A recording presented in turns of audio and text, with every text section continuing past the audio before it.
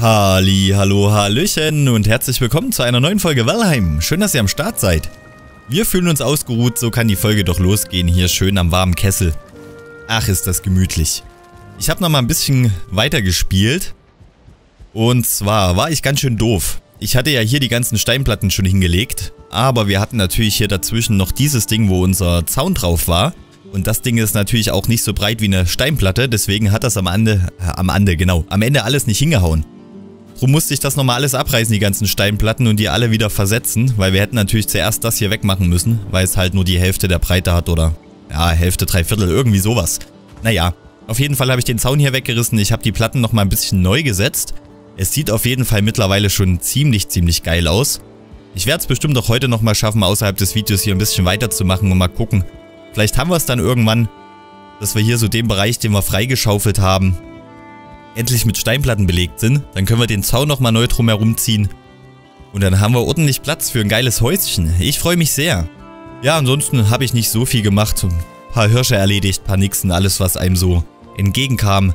Paar Karotten geerntet und wieder neue gesät. Alles was so dazugehört. Wir müssen, weil wir hatten ja die letzte Folge noch so im Sumpf beendet, also in der Krypte. Ich bin jetzt nur ganz schnell wieder zurückgerannt. Ich habe das das Eisen noch nicht geholt. Das machen wir jetzt nämlich erstmal direkt. Ich mache nur mal ganz kurz noch das Inventar leer. So, und zwar holen wir jetzt das Eisen. Wie sieht's denn aus? 66 Kilo. Hm, wir müssen mal gucken. Weil wir hatten das Eisen ja, glaube ich, in der Krypte gelassen, richtig? Richtig, deswegen habe ich mir die nämlich auch markiert. Natürlich mit einem Portalsymbol, wie sollte es anders sein? ja, muss mich, ich muss mich da mal ein bisschen mehr dran halten, das alles etwas ordentlicher zu machen. Warum werde ich denn hier nass? Verstehe ich nicht. Naja, lasst uns mal schnell zurück teleportieren. Ein paar Eisen hatte ich schon in die Truhe gepackt, die direkt an unserem Portal steht. Und dann holen wir den Rest, das restliche Eisen noch zurück. Dann können wir unsere Rüstung definitiv wieder ein bisschen verbessern. Ach du Scheiße. Schlundi. Stirb. Nein, nicht spucken, nicht spucken, nicht spucken. Na, ein Glück. So, gib mir mal Blutsack. Dankeschön. So, ich glaube 17 oder so waren hier drin, genau. 17, die bringen wir jetzt erstmal direkt zurück. Dann können wir auch die Rüstung... Ah, wollen wir sie gleich verbessern oder wollen wir erstmal warten, bis wir alles haben? Wenn, dann machen wir alles. Na, obwohl. Nee, wir machen das gleich. Weil alles mit einmal geht eh wieder nicht, weil dann sind wir überladen und dann sind wir hier wieder ganz, ganz langsam unterwegs. Das muss einfach nicht sein. Ach so, nee, können wir eh nicht, weil wir müssen es ja noch schmelzen. Manchmal bin ich nicht der hellste. Kohle ist zumindest voll, das ist schon mal gut. Wir haben ja auch noch eine ganze Menge Kohle. Haben wir jetzt alles? Ja. Eine ganze Menge Kohle hier in der Kiste, beziehungsweise in der Kiste da hinten. Jetzt haben wir natürlich nur 60 Leben. Damit würde ich ungern durch die Sümpfe laufen. Honig geht eh gerade leer. Dann lasst uns hier mal noch ganz schnell ein paar Würstchen schnappen. Zack. Dann hauen wir die nämlich schnell rein. Dann haben wir zumindest ein bisschen mehr Leben. Ausgeruht sind wir auch, das passt. Dann lasst uns jetzt schnell noch das restliche Eisen holen. Dann können wir unsere Rüstung endlich upgraden. Und dann müssen wir mal schauen, ob wir uns nochmal ins Gebirge trauen. Oder ob wir noch mehr Eisen sammeln. Ich weiß es nicht. Also ich glaube unsere Rüstung, also 10 Stück kostet es pro. Ich hatte mal geguckt, die haben wir ja schon auf der 3. Das heißt, wir brauchen nur noch die beiden Teile. Und 20 Eisen haben wir definitiv zusammen. Höher können wir eh noch nicht upgraden. Aus dem einfachen Grund, dass unsere, unsere Schmiede noch nicht besser ist. Also noch nicht auf der Stufe 4 dann. Oder 5, ich glaube 4.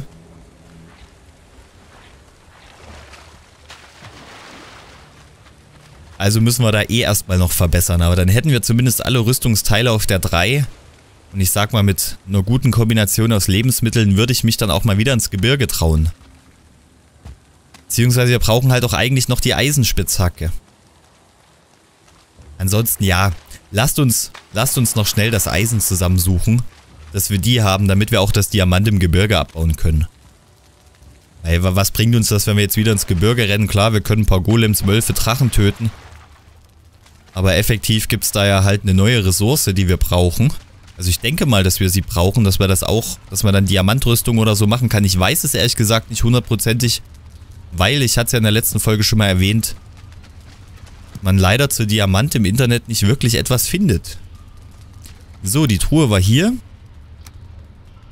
17 Stück haben wir. Wir können noch ein bisschen was einstecken. Dann können wir hier nochmal drauf rumklopfen. Ich glaube 20 Eisen kostet jetzt nochmal die neue Spitzhacke. Wir hatten jetzt, hier waren 20 drin, 17 hatten wir schon. Ne, hier war nicht ganz 20 drin. Dann sagen wir mal grob mit dem Haufen, den wir hier abbauen, haben wir 37. Das heißt, 20 brauchen wir für die Rüstung und 20 brauchen wir für die Hacke. Das heißt, effektiv kriegen wir das eigentlich noch zusammen. Ich weiß bloß nicht, ob wir es komplett tragen können. Ansonsten müssen wir halt noch irgendwas wegschmeißen. Und dann hätten wir das gleich mit einem Rutsch erledigt. Das wäre natürlich ideal. So, wie sieht's denn aus? Wir haben jetzt 20 mit den 17 37, also drei Stück noch. Kriege ich das Ding hier irgendwie? Gab nur einen Knochen. Alles Gewicht, was wir nicht brauchen. Hier ist nichts weiter. Ich glaube, wir hatten hier noch irgendwo ein bisschen Schrott. Wäre zumindest echt cool, wenn wir nicht direkt in eine neue Krypte müssten. Hier können wir bloß durchtauchen, aber da kommt wieder am Ende nichts, ne? Richtig? Ah, ich glaube, die Krypte ist leer. Verdammt. Wir gucken nochmal vorne.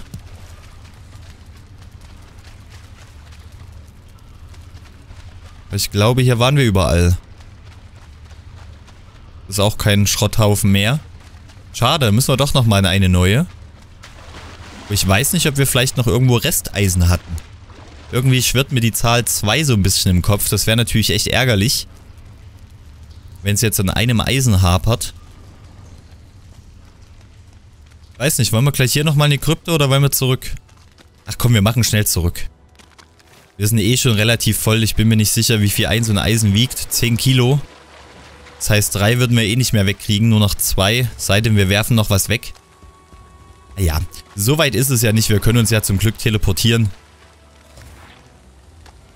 Hört doch schon wieder irgendwelche Schlundis. Und eventuell haben wir ja Glück. Und noch drei Eisen irgendwo verstaut haben. Das wäre cool, dann hätten wir die Rüstung komplett auf der 3. Wir hätten eine Eisenspitzhacke. Und könnten uns dann wirklich mal ins Gebirge trauen. In der Hoffnung, nicht wieder zu sterben. So, hier war alles leer jetzt, genau. Das Holz nehmen wir noch mit, wenn wir einmal hier sind. Ach, ich freue mich drauf. Also das haben wir echt schnell hingekriegt. Also, naja, was heißt schnell? Es hat ein paar Folgen gedauert, aufgrund des Todes in den Ebenen. Aber ansonsten, generell mit dem Eisensammeln und das Hochleveln, das ging trotzdem schon relativ flott. So, es ist voll. Vielen Dank für den Hinweis. 16 Stück hat es schon wieder zusammen geschmolzen. Perfekt. Dann gucken wir mal. Ein Eisen, verdammt. Ah ja, was soll's. So, lasst uns mal ganz schnell noch den, den Spaß hier leer machen. Achso, und ich hatte, ich weiß gar nicht, ob ich das erwähnt habe, aber ich glaube nicht. Der nächste Boss ist ja ein Drachen. Und um den zu beschwören, brauchen wir Dracheneier. So, ich habe bloß noch... Ja gut, das können wir gleich vorne reinwerfen. Ja, um den zu beschwören, brauchen wir Dracheneier. Jetzt ist das Problem an der ganzen Geschichte, dass ein so ein Drachenei 200 Kilo wiegt. Das heißt, wir kriegen das definitiv nicht transportiert. Es gibt aber, was mich extrem gefreut hat, beim dunklen Händler, Schwarzhändler, wie auch immer, ich glaube dunkler Händler, gibt es einen Gürtel, den man kaufen kann, wodurch sich, ja, hier die Zahl halt, das maximale Gewicht, was wir tragen können, erhöht. Ich weiß nicht genau wie viel, aber ich glaube, dass es dann ausreichen sollte, um die Eier zu transportieren. Das heißt, wir müssten ja auf 600 kommen. Bin mir nicht ganz sicher. Ich glaube, ich hatte 500 gelesen, aber da kann ich mich nach der Folge oder nach der nächsten... Boah, hier fliegt gerade irgendwas ganz, ganz tief durch mein Dorf. Ich hoffe, man hört es nicht so dolle in der Aufnahme. Ja, also an, ich glaube, ich habe gelesen, dass es 500 sind. Ich habe aber auch, glaube ich, gelesen, dass es möglich sein soll, mit dem Gürtel dann alle drei Eier zu tragen. Ansonsten wird das natürlich Mist. Dann müssten wir immer wieder Truhen bauen. Die sollen wohl auch teilweise, die liegen sehr, sehr unterschiedlich und man kann wohl auch viel Pech haben, dass die ganz, ganz weit entfernt liegen. Dann müsste man die halt irgendwie alle dann in der Truhe, Truhe lagern und dann immer Stück für Stück weiter, weiter zum, zum Boss tragen. Ich meine, wenn wir den dunklen Händler nicht finden in nächster Zeit, dann bleibt uns nichts anderes übrig. Aber ich finde dafür, dass wir hier schon bei Folge 100 und ich weiß gar nicht, 2 sind, ich glaube 102, sollten wir den Typen auch endlich mal finden, oder? Wie gesagt, ich hätte ganz gerne diese Kopflampe, dass wir im Dunkeln was sehen, der Gürtel, ach, das wäre alles so geil. Ist natürlich auch die Frage, ob wir genügend genügend Münzen dafür haben.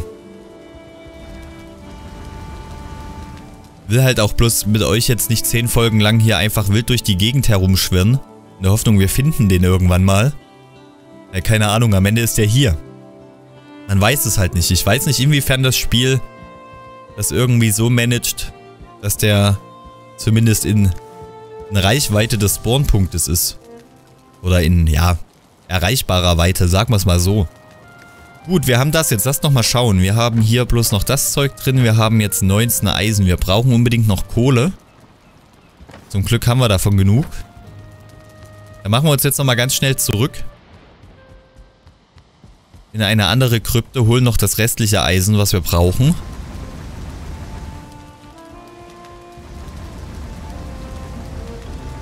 Das einmal alles voll. 13 Stück haben wir immer noch einstecken. Gut, da holen wir das restliche, dann können wir alles upgraden. Machen uns die Eisenspitzhacke und dann machen wir uns erstmal ins Gebirge auf, bauen mal das Diamant ab und gucken mal, ob wir irgendwas mit anstellen können. Und kämpfen uns da generell ein bisschen durch. Vielleicht finden wir ja auch schon den Stein, der uns den Spawnpunkt auf der Karte markiert. Vielleicht auch schon mal ein erstes Drachenei. Ich weiß nicht genau, ich glaube in Nestern sind die. Also macht natürlich Sinn, ist ja ein Ei.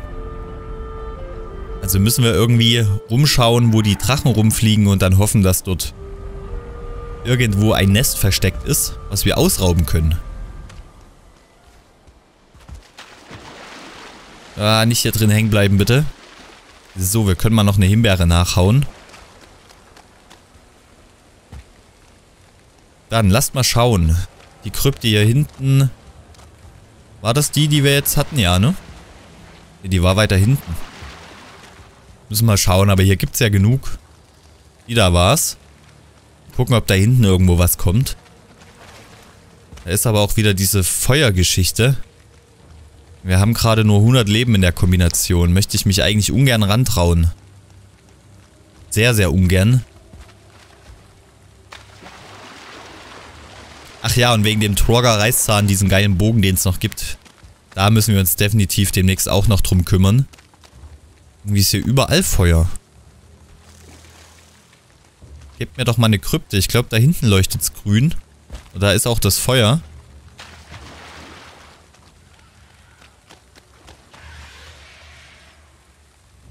Ich glaube, es hat uns noch nicht gesehen. Es schreit nur blöd rum. Schleimmasse. Die Schleimmasse hat uns gesehen.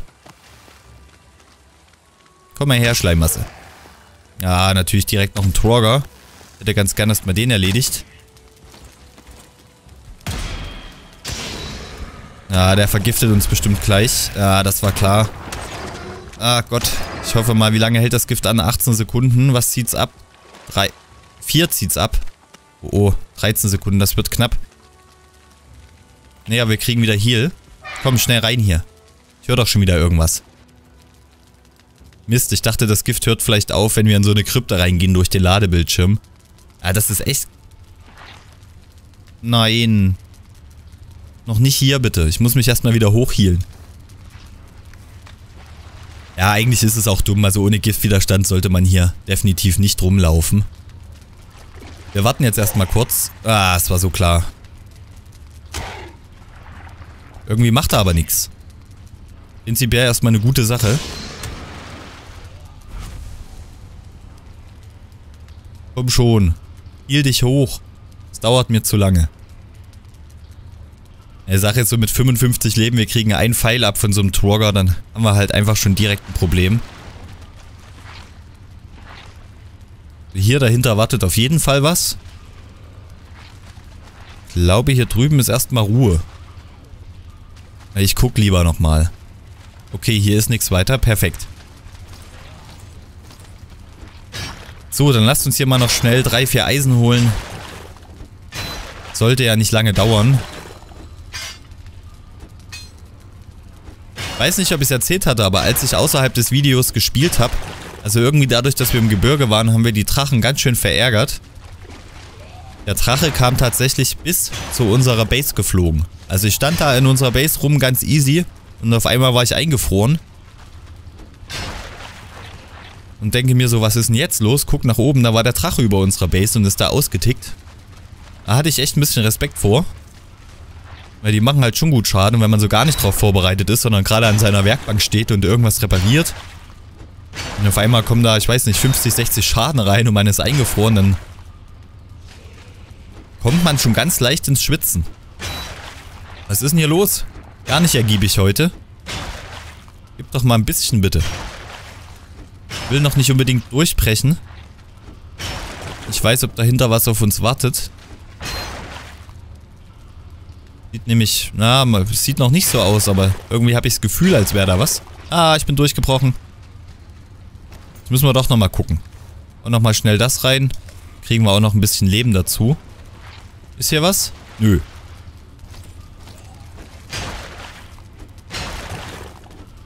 Ja, hier ist irgendwie echt nicht viel Eisenschrott dabei.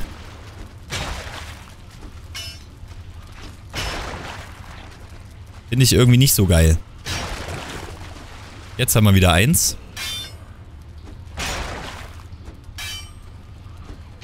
Ah, das treffen wir nicht mehr so richtig. Nicht wirklich, nee. Wie viele haben wir denn? Zwei Stück. Müsste, glaube ich, schon reichen, weil eins hat man noch in der Kiste, aber wenn wir jetzt schon mal hier sind, dann hauen wir das auch noch schnell kaputt.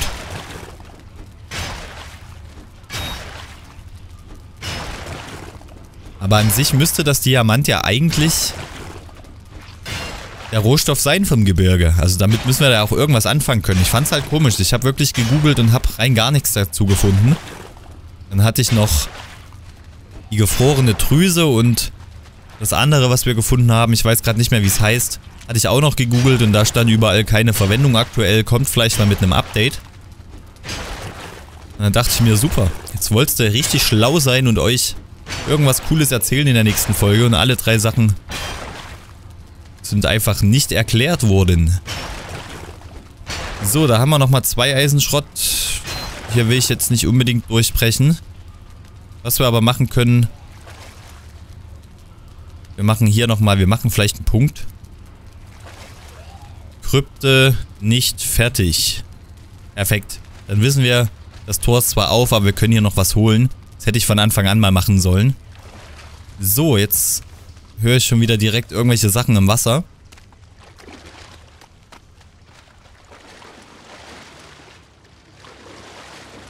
Oh Gott, kommen bestimmt tausend Schlundis hinterher. Ganz schnell weg hier. An sich bräuchten wir halt nochmal so einen Zorngeist für die Kette. Dann könnten wir unsere Schmiede sogar nochmal verbessern. Ich glaube, eine Verbesserung haben wir generell noch. Die hat bloß, glaube ich, 20 Eisen gekostet. Aber solange wir das jetzt erstmal alles auf der 3 haben und eine Eisenspitzhacke, bin ich eigentlich schon mal happy. Ach, geh weg. Da kommt schon wieder irgendwas, Schleimding. Der Sumpf, der bei uns... Oh, ach du Scheiße. Der bei unserer Basis ist, hat mir irgendwie mehr gefallen, muss ich ehrlich sagen. Er war zwar auch nicht unbedingt schön, aber hier ist... Weiß auch nicht, das riecht hier einfach schon nach Tod.